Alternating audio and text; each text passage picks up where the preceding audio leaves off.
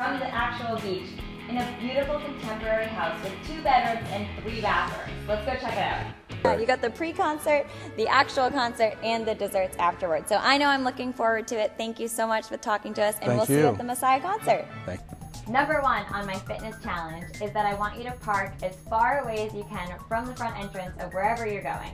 Now this one's easy because around the holidays there's usually cars everywhere and you can't find a spot.